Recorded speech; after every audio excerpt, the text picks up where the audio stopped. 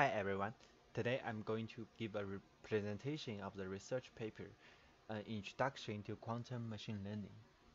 The first time I saw this title, I felt confused, as I thought there is no quantum computers in the world today. How it comes the quantum machine learning? Actually, there is a wide range ideas of quantum machine learning. It could be running computationally costly algorithms or their subroutines efficiently on a quantum computer. It can also be translation of stochastic methods into the language of quantum theory. First, I'd like to give a basic introduction of the paper. In this paper, the author gives a systematic overview of the emerging field of quantum machine learning. It presents the approaches as well as technical details in an accessible way. Also, it discusses the potential of a future theory of quantum learning. Here are the keywords.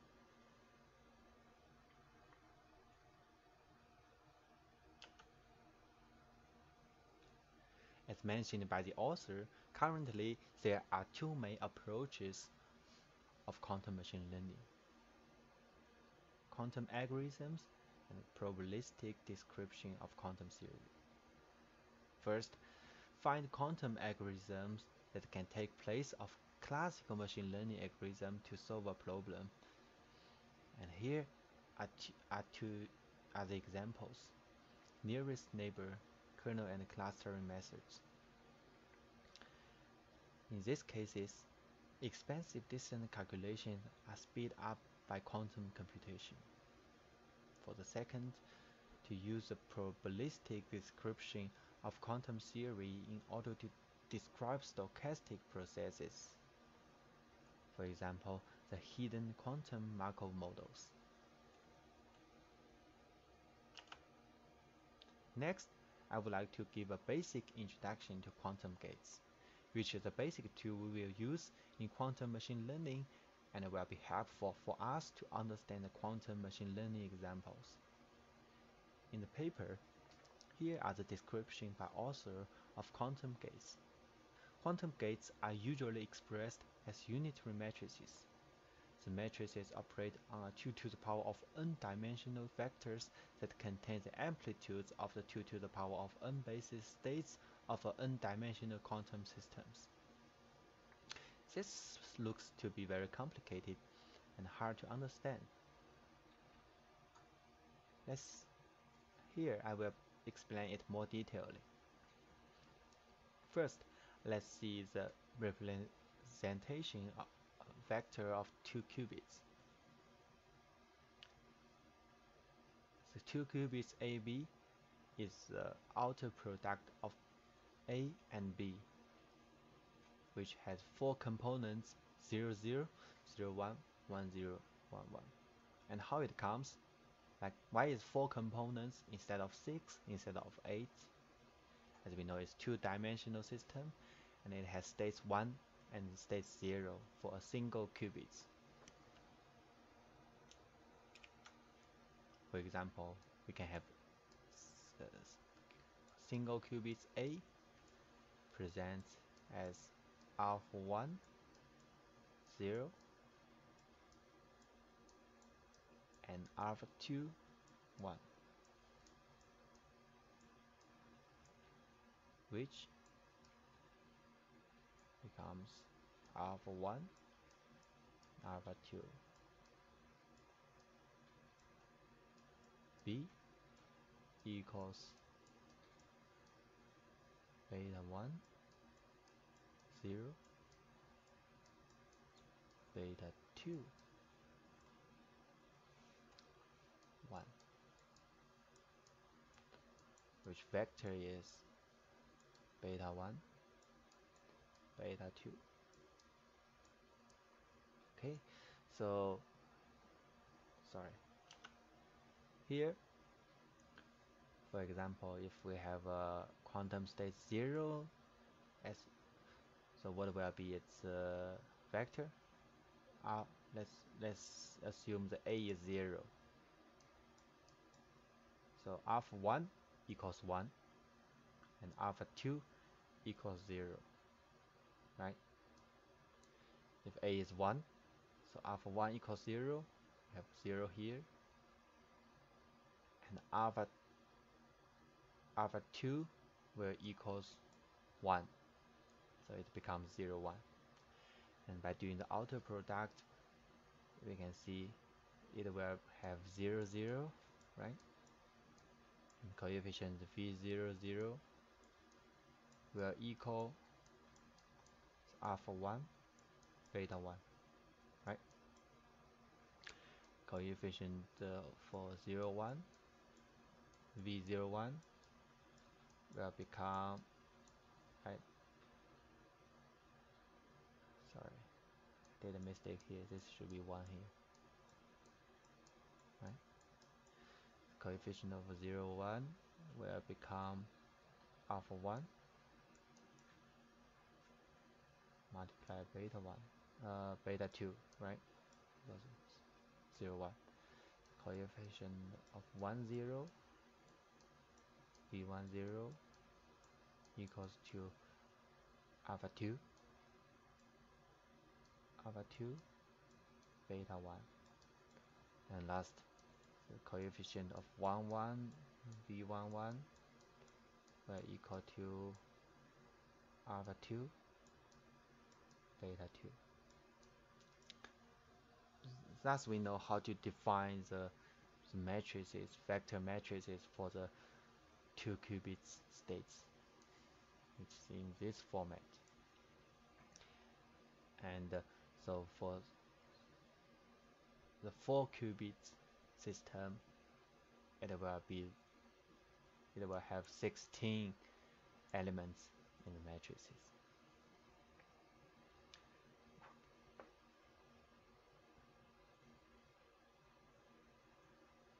which is uh, 4 to the power of 2 to the power of 4 right?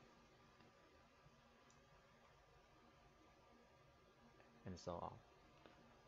So here are some examples of the quantum gates. Here I would like to introduce the Hadamard quantum gates which we will use for later examples and so let's write it here.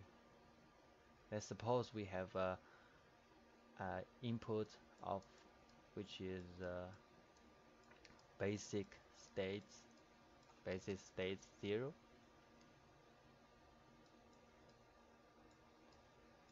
which has a vector as 1 0 right? Because it has one of 0 and uh, non ones by acting the H gate? What do we get let's do the multiplication of the matrices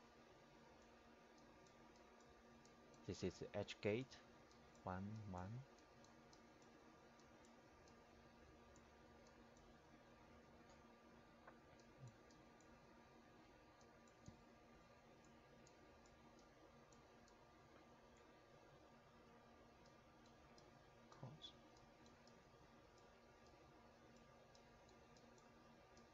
well still a vector matrix of dimension 2 so the first is 1 1 and the second is also 1 second row. So now we can get the output which is this format. So basically the H gate can put a single at basis state into equal superposition. So for, for the uh, qubit as basis state 1, what will it become if it's if it's 1 here instead of 1 0 so by doing the multiplication we can see it becomes 1 minus 1 it's also an equal superposition okay here are the another example which is the XOR gate. And here is the matrices of the XOR gate of the 2 to the power of 2 dimension because we have two qubit states. Okay. from this we know it's a two qubit states. If it's 4 it will be like this right? Or like this. Or like this. But now we only have two here. And what's the coefficient for each element? So we have 0 0 here. We have 1 1 here. They have equal coefficient. But we don't have 1 0 1 or 1 0 so we simply we can get this vector which rep represents the two qubit states phi right? Because v0 0 is 1 this is v11 v1 sorry v01 so v10 and v11 by doing the multiplication of matrices we can simply get the results output vector which is in this format so the so if coefficient of v00 yes. Right? And the coefficient of is 1 0 here. It's 1 1 0 1 0 0 the coefficient of v1 0 is 1 over square 2 now we can get the output which is consistent with the result okay so here are the introduction of the quantum quantum gate operation. And next I would like to to present a example reviewed by the author which is a quantum routines of k nearest neighbor methods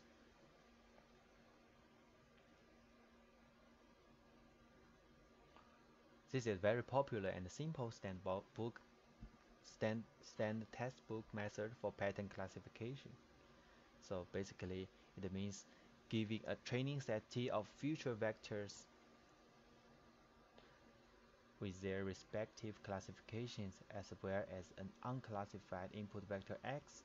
The idea is to choose the class x for the new input that appears most often amongst its k nearest neighbors. So we have unknown class here, we have other, we know it's other characteristics as a vector, and we want to know the class of this this this item. So we will choose, we will find the nearest k neighbors. For for this example, we have this this, this, this. And convincingly, we can guess this class is also a yellow because yellow circle because in the k nearest five neighbors which has similar characteristics as this item we have three yellow circles which has the highest weight. So and but if we have a k equals 1 here so this example shows what, what if we have k equals 1 we can see it's hardly to choose the class for x because there's a lot of noise here. And also if we have too big k we may find everything like if we have k like this k equals 15 we will we will have a lot of items inside. We cannot decide whether it's blue or whether it's yellow, right? So if so basically it means choosing K is not always easy and can influence the results significantly. If k is choosing too big, we lose low quality information and end up in a simple majority vote over the entire training set, while a very small k leads to a noise-based results. So this is basically the classical uh, uh, quantum inform uh, quantum not quantum the classical machine learning of k-nearest neighbor methods. And uh, so when we go to the quantum, we will need the this quantum gate which is defined by the predecessor and uh, we can have we can see here this is uh, what's the gate here? Have to this gate and to H gate. So this is the swap gate.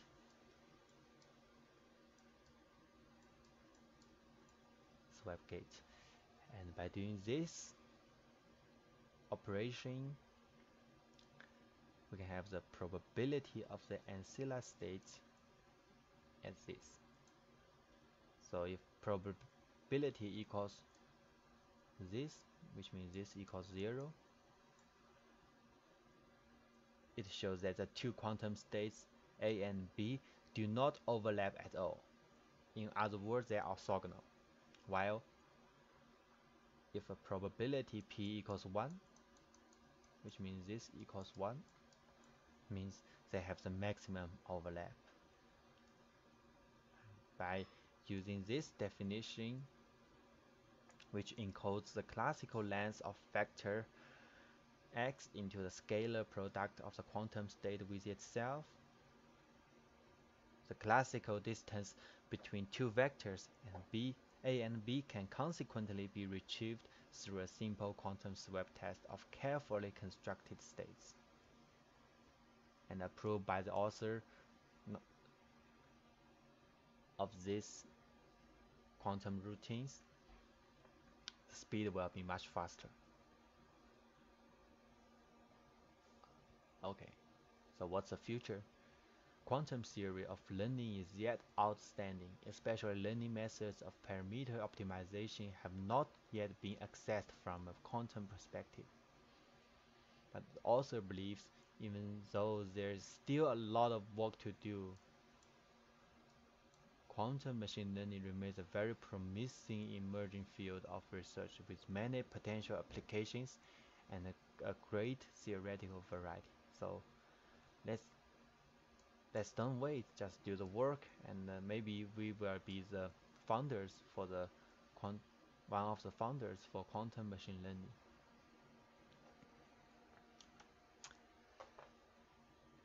if you have any questions you can contact me through the canvas. Also I think you can find my email there and uh, can send me email whenever you want. And I will reply as best as I can. Thank you.